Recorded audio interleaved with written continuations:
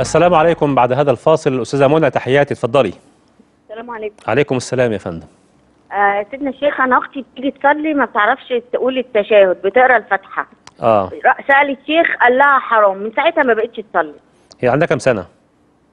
عندها 35 سنة. 35 سنة؟ آه. طب مش عارفة تحفظ التشهد ولا إيه؟ مش عارفة تحفظها خالص. هي آه ما معهاش شهادة. طب ما هو اللي يحفظها الفاتحة يح- يحفظها التشهد. عارفه طب هجاوبك. حاضر يا أستاذة منى. حاضر. حاضر. أولا بالنسبة لأمنا الكريمة الحاجة سعاد بنتها الأستاذة أمل أم يوسف وأم هنا. يا أستاذة أمل.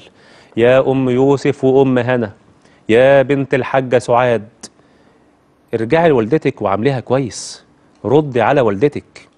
أنا بقول الاسم بالأمارة علشان لو حد عارفها يبلغها أو هي لو شايفة دلوقتي الحلقة يعني تاخد بالها من. من الرسالة دي. يا أستاذة أمل يا أم يوسف وهنا. اتعلمي من سيدنا يوسف عليه السلام. انت مسمية يوسف أكيد حبا في سيدنا يوسف. طب شوف سيدنا يوسف كان إزاي حنين على أبويه. إزاي كان حنين على أبويه وعاملهم معاملة طيبة. فيا أم هنا ربنا يهنيكي بيها يا رب. يا بنت الحاجة سعاد عامل والدتك كويس. ملكيش بركة إلا والدتك. وصاحبهما في الدنيا معروفة. أكبر الكبائر عقوق الوالدين.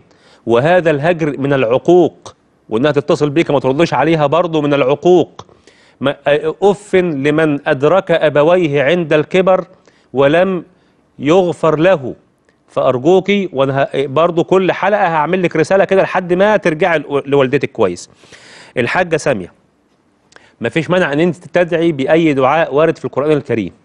حتى لو كان هذا الدعاء على لسان نبي تشبها بالنبي وتبركا بالقرآن الكريم. وربنا بقى هو الفتاح العليم والرزاق العليم. يرزقك إن شاء الله رزق واسع بإذن الله.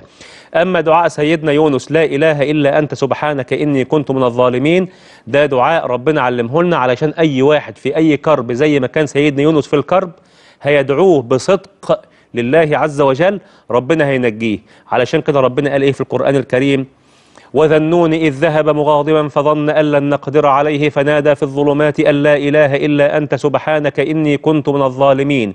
فاستجبنا له ونجيناه من الغم وكذلك ننجي المؤمنين.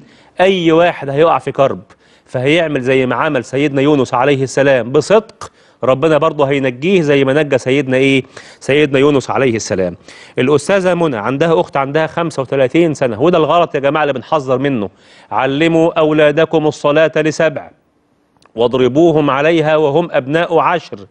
ده الغلط. إنك تسيب الواحد ما يتعلمش لحد ما يبقى سنه كبير ومش عارف يصلي صح ومش عارف يحفظ التشهد.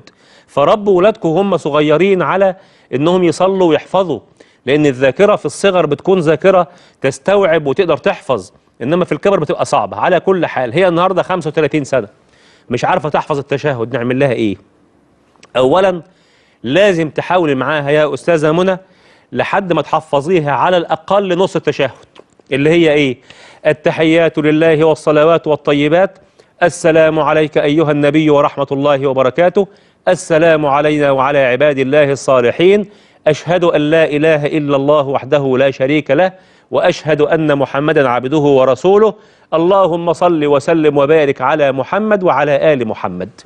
وتسلم بعد كده. طيب مش عارفة تحفظ؟ اكتبها في ورقة وحطها قدامها وهي بتصلي. تصلي وما تيجي عند التشهد يا ستي تقراها من ورقة لو بتعرف تقرأ. طب ما بتعرفش تقرأ. هنعمل فهنعمل إيه؟ خلاص تقعد بقى وتعمل إيه؟ حركات التشهد. لكن تحاول تحاول. يعني أنا مش عايز أتساهل في الأمر لأن الصلاة أمور توقيفية. يعني بنتعبد إلى الله عز وجل بالطريقة اللي تعبد بها النبي.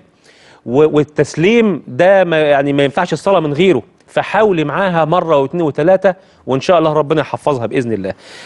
أنا شاكر لحضراتكم. اللقاء انتهى ونتواصل معكم في لقاءات قادمة إن شاء الله تعالى. أحبكم في الله والسلام عليكم ورحمة الله وبركاته.